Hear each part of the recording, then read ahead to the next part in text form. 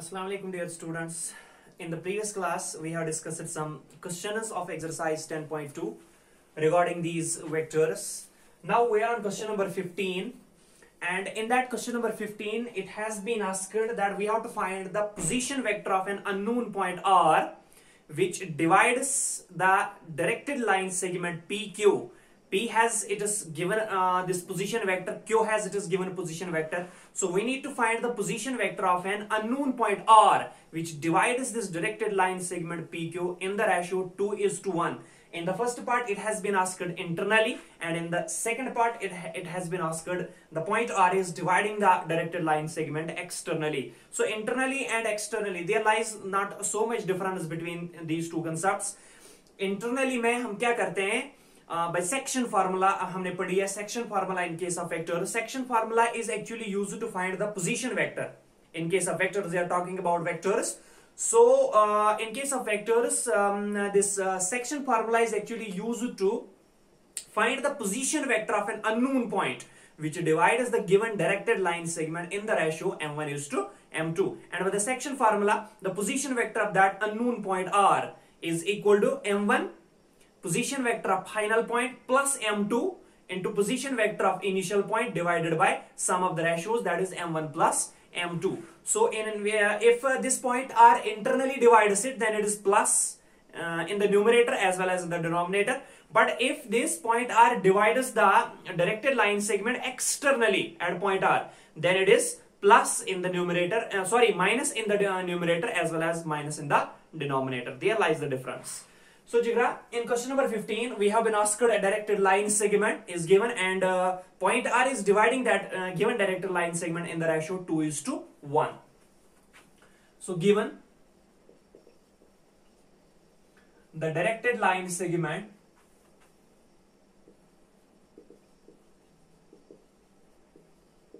given the directed line segment PQ where P and Q have their position vectors as have their position vectors as yes the position vector of point P is i plus 2j minus k i plus 2j minus k and the position vector of point Q is minus i plus j plus k. Minus i plus j plus k respectively. सो जिगरा हमारे पास एक directed line segment है। वो directed line segment है actually P Q इसका initial point P है और इसका फाइनल पॉइंट जो है वो क्यू है।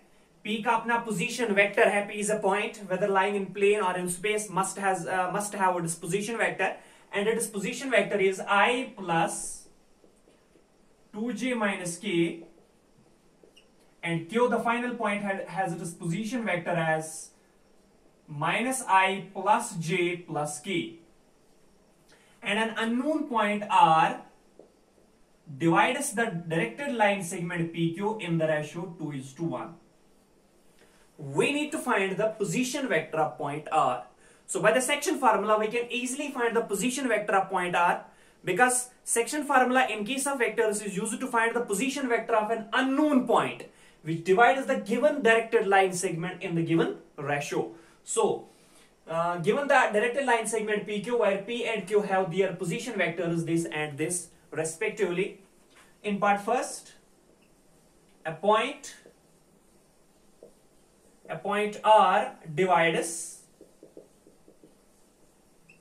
directed line segment PQ in the ratio internally in the ratio internally in the ratio 2 is to 1 therefore by section formula therefore by section formula the position vector of therefore by section formula the position vector of point P is equal to yes m1 into position vector of m1 into position vector of final point that is q plus second ratio that is m2 into position vector of initial point that is p divided by sum of the two ratios that is m1 plus m2 so that's equal to yes m1 is what is the first ratio that is 2 so 2 into 2 into position vector of q. What is that? Minus i plus j plus k. and Algebra plus m2, the second ratio, what is that? 1 into position vector of point P, that is i plus i plus 2j minus k divided by sum of the two ratios, that is 2 plus 1. And in the second part, it has been asked the point R is dividing that PQ externally. In the ratio two is to one तो उस part में आप क्या करोगे जगह यहाँ पे भी प्लस ले लोगे न्यूमरेटर में भी और सॉरी uh, माइनस ले लोगे और डिनोमिनेटर में भी माइनस ले लोगे तो वो एक्सटर्नली आप खुद कर सकते हो so two into minus i plus j plus k plus one into i plus two j minus k divide by two plus one तो इंप्लाइज यहाँ से मिलेगा position vector of position vector of position vector of R not P position vector of R So, position vector of point R must be equal to 2 into minus i, that is minus 2i 2 into j, that is plus 2j plus 2k हाँ जिगर one से multiple कर दो तो plus i plus 2j minus k divided by 2 plus 1 will come out to be 3. So implies position vector of r is then equal to what would be the position vector of r? Shabash minus 2i plus i. That is minus 2i plus i is minus i. Yes. Plus 2j plus 2j is plus 4j And plus 2k minus k is plus k. Divided by 3. Three three common denominator है तो respective component जो scalar components है अलग अलग divide कर दो तो क्या मिलेगा implies position vector of point R must be equal to minus one divide by three i minus one divided by three into i plus four divided by three into j and plus 1 divided by 3 into k. So this would be the required position vector of point R which divides the given directed line segment PQ where P and Q have their respective position vectors given in the ratio 2 is to 1. So the position vector of this point R must be equal to minus 1 by 3i plus 4 by 3j and plus 1 by 3k. All about this question number 15. Now lies another question that is 16. Find the position vector of midpoint of the vector joining the points P of this and Q of this. फिर से यही question है लेकिन इस समय ये कह रहा है कि ये जो अननोन पॉइंट है ये इस डायरेक्टेड लाइन सेगमेंट का मिड पॉइंट है सो so, यहाँ पर हम सेक्शन फार्मूला नहीं बल्कि यूज़ करेंगे mid point formula question number next that is question number 16 lies there question number 16 lies there and in question number 16 we have a directed line segment its initial point is again P and its final point is again Q. Its initial point is P, P has its coordinates 2, 3, 4 and its final point is Q. Its coordinates are 4, 1, minus 2. This is the given since its initial point is P, final point is Q, its direction must be from P to Q. And we need to find the position vector of an unknown point R. But here it is given that R is the midpoint of PQ. So uh, here we would uh, we will not use uh, the section formula. Here we will use the midpoint formula. So given the initial and given the initial and final points of a vector given the initial and final points of a vector PQ as pq as yes p of 234 and q of and q of 4 1 minus 2 therefore by midpoint formula the position vector of midpoint of pq is therefore by midpoint formula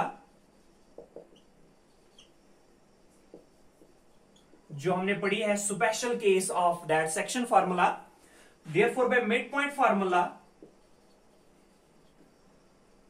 position vector of midpoint of PQ midpoint of directed line segment PQ must be equal yes by midpoint formula what would be the position vector of that midpoint that is position vector of initial point plus position vector of final point divided by 2 so it is equal to position vector of what is the initial point p plus position vector of final point what is that q so position vector of q divided by 2 position vector of initial point plus position vector of final point divided by 2 because by midpoint formula that is midpoint formula is actually uh, you have to by midpoint formula you can locate the position vector of midpoint and it is given by position vector of initial point plus position vector of final point divided by 2 so that's equal to position vector of p. P is a point its coordinates are 2 3 4 what would be the position vector? 2i plus 3j plus 4k plus Position vector of Q. Q is a point, its coordinates are 4, 1, minus 2. What would be the position vector 4i plus j minus 2k divided by 2. And that's further equal to 2i plus 4i that is 6i plus 3j plus j that is plus 4j plus 4k minus 2k that is plus 2k divided by 2. So implies position vector of midpoint of PQ. Position vector of midpoint of directed line segment PQ must be equal to yes. 6 divided by 2 that is 3i. 4 divided by 2 that is plus 2j. And uh, 2 divided by 2 that is plus k. So the position vector of midpoint of that directed line segment PQ must be 3i plus 2j plus k. All about question number 16. Now we are on question number 17 and in that question number 17 we have three points A, B and C with their respective position vectors and we have to prove that. It's a very much important question.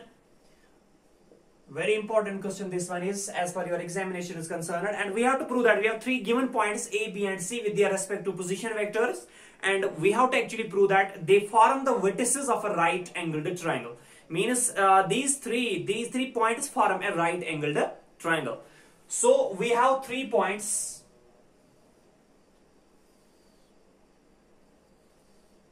we have three points. Point a its position vector is 3i minus 4j minus 4k 3i minus 4j minus 4k this is the point a. Three non-collinear points. We have three points we have. So we have another point. We have another point b with its position vector as 2i minus j plus k. 2i b its position vector is uh, 2i minus j plus k. And we have the third vertex that is C, third point C. And the position vector of that third point C is i minus 3j minus 5k. i minus 3j minus 5k. These are the three given points with their respective position vectors. A of 3i minus 4j minus 4k, B of 2i minus j plus k, and C of i minus 3j minus 5k. And we need to show that we need to prove that these three points A, B and C form a right angled triangle. ये बनाते हैं एक right angle triangle देखो जिगरा इस question को prove करने के हम हमारे पास दो तरीके हैं एक जो तरीका है हम पहले ए बी ये जो वेक्टर है, इसका मैग्नीट्यूड निकालेंगे। तो निकल के आएगा ये ये वाला साइड हम ए सी का मैग्नीट्यूड निकालेंगे लेंथ निकालेंगे तो निकल के आएगा ये साइड फिर हम इस बीसी का बीसी वैक्टर का या सी बी वैक्टर का ये जो लेंथ है मॉड्यूलस है मैग्नीट्यूड है, वो निकालेंगे। फिर अगर वहाँ से आया कि B C square is square to A B AB plus A C square means hypotenuse square is equal to base square plus perpendicular square. But that is satisfied in a triangle, which is right angle triangle. So, जब यहाँ पे ये Pythagoras theorem satisfy होगी तो obviously होगा right angle triangle तो obviously ये A B and C form करेंगे एक राइट एंगल ट्रायंगल यह है एक तरीका. दूसरा तरीका हम ऐसे भी कर सकते हैं कि हम सपोज़ ये ए बी वैक्टर को पहले निकालेंगे, बाद में ए सी वैक्टर को निकालेंगे. तो अगर पहले हम ये प्रूव करेंगे कि A B and C they form the they form a triangle कैसे? अगर पहले ए बी वैक्टर निकालेंगे ए सी वैक्टर निकालेंगे बी सी वैक्टर निकालेंगे. अगर sum of the two vector third side के बराबर है so by triangle law if two vectors are represented by two side of a triangle taken in same order then their sum or result must be the must be the vector represented by the third side of a triangle taken in opposite order so so, पहले हम prove करेंगे कि ये ये ये vector plus ये vector इस vector के बराबर आ रहा है। सो so, ट्रायंगल अगर यहाँ पे फॉलो हो रहा है तो ये बनाएँगे ऑब्वियसली ट्रायंगल फिर कैसे प्रूव करेंगे कि ये राइट एंगल होगा?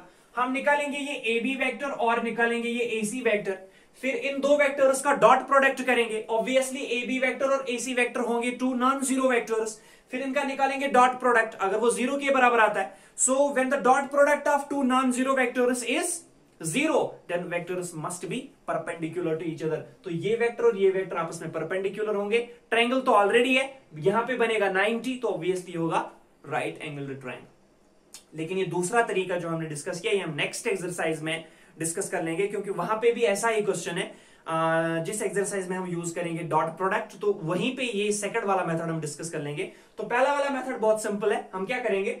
ए बी निकालेंगे, इसका मैग्नीच्यूड ए सी निकालेंगे, इसका मैग्नीच्यूड बी सी निकालेंगे, इसका मैग्नीच्यूड तो मिल गई लेंथ इस साइड की, इस साइड की और इस साइड की। फिर अगर हमें आया कि mod of B C square is equal mod of A C square plus mod of A B square means here in this triangle Pythagoras theorem is satisfied and when when Pythagoras theorem is satisfied in triangle triangle must be an must be a right angle triangle so given given the three points given the three points A, B and C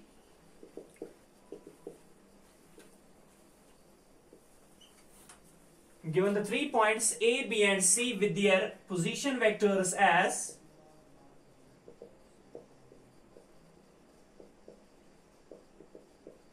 with their respective position vectors as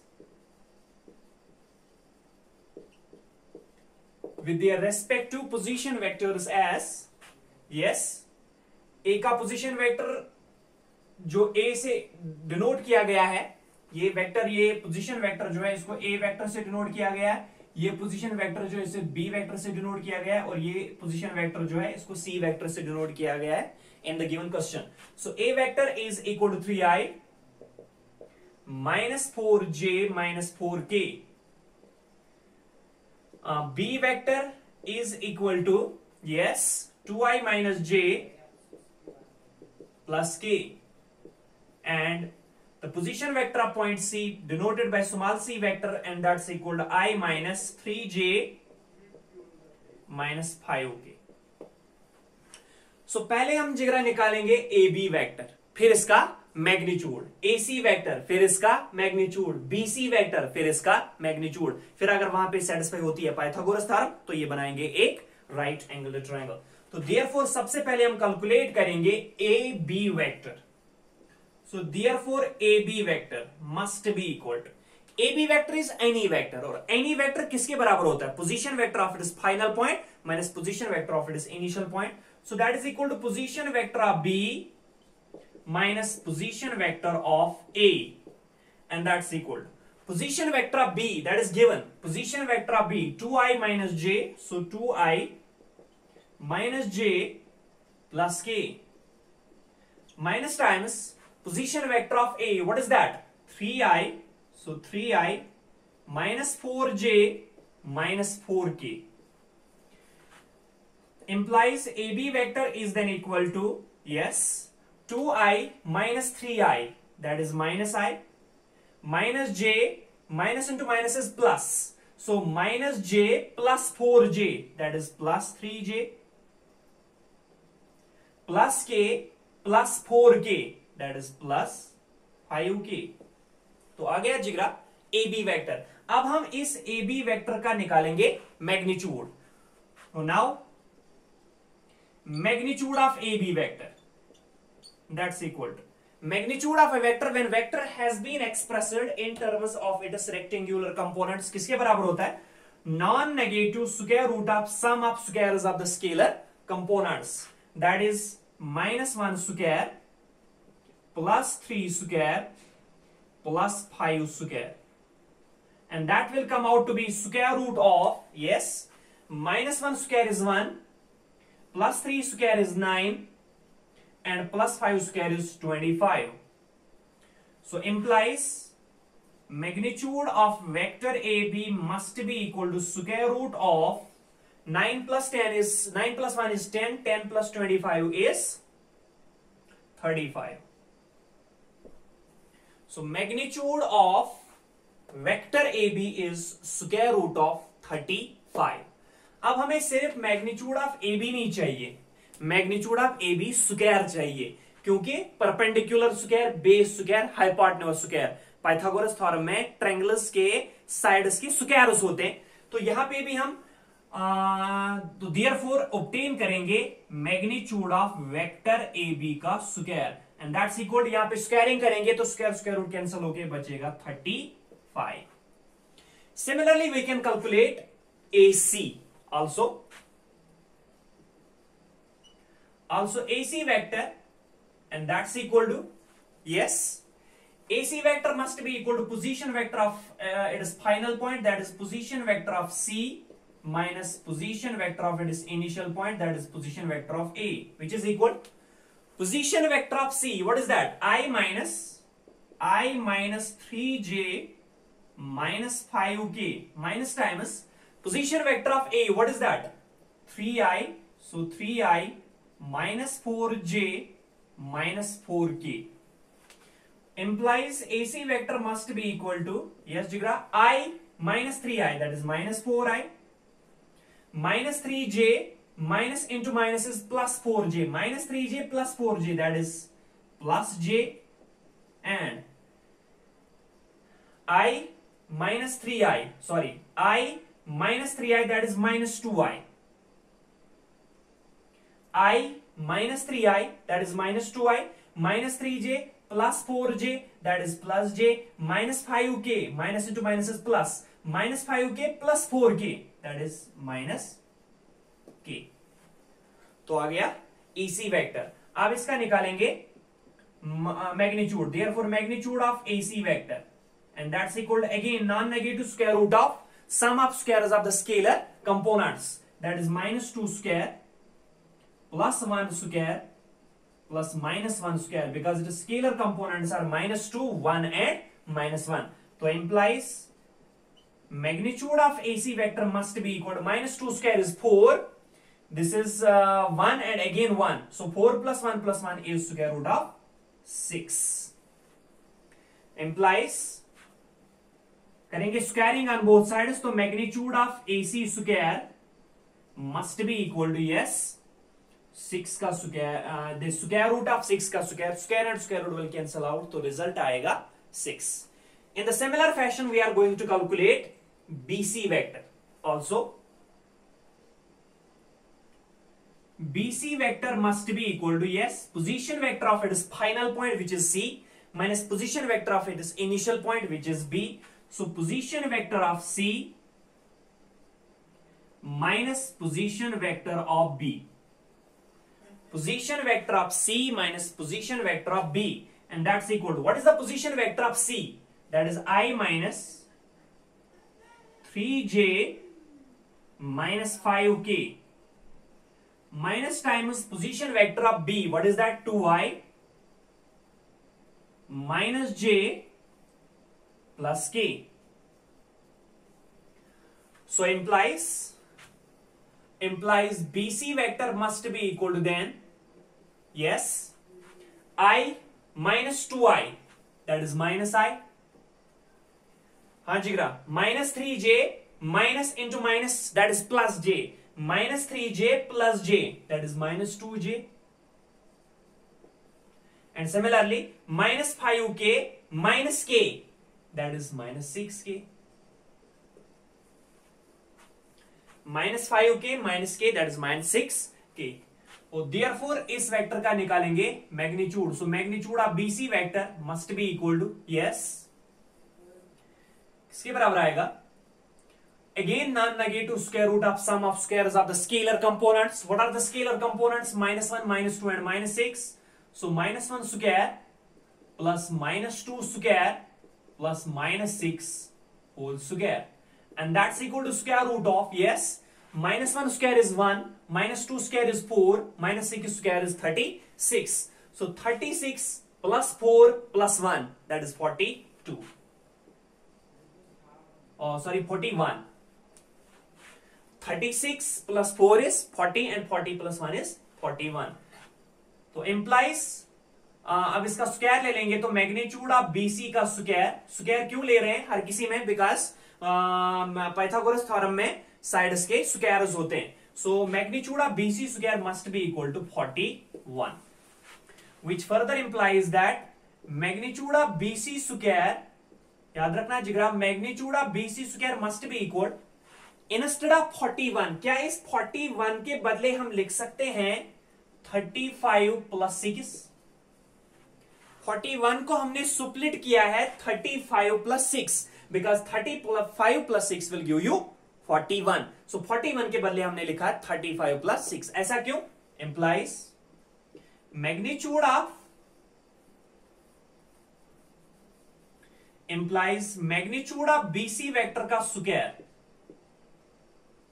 magnitude of BC vector का square is equal 35 but what is actually 35 यहाँ पे देख लो.